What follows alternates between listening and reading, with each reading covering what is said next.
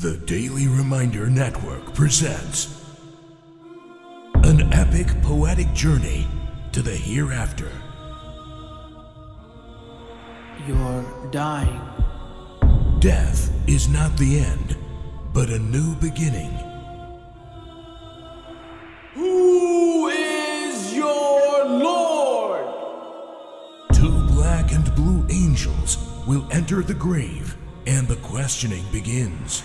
You are awakened in the middle of your slumber. Imagine hearing the ground cracking up above you. You are resurrected, and the reckoning awaits. Nufsy, nufsy, nufsy, myself, myself, myself, you are on your own. Myself, myself, myself will be the cry of the day. As your soul is escorted by the guards to your seat to stand before your Lord for your own moment of critique. Honor or humiliation, the judgment begins. The scale will tell your tale and distinguish your degree. This massive pond with two long pipes feeding to it from a blessed river. A brief glimpse of relaxation and a moment of refreshment.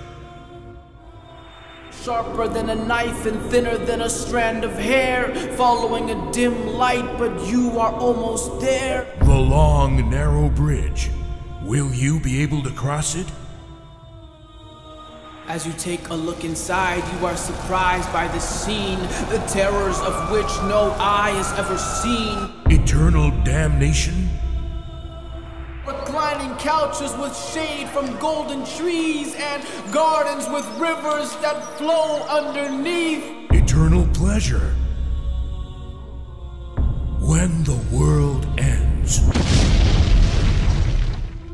By Boonaa Mohammed. Every Thursday, only on the Daily Reminder Network.